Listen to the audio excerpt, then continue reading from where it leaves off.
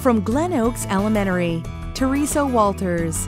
I played soccer, and so I think my coaches were the ones who really kept me grounded and focused on school. I loved playing sports probably more than I loved going to school. I wasn't a bad student, but sports were, you know, more of my thing.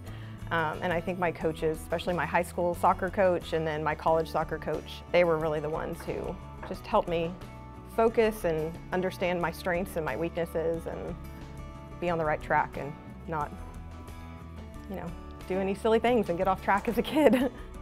E. Okay, good. I heard a couple of people saying I. On this page, we're practicing all the E sounds. I-E can say I sometimes. You're right, though.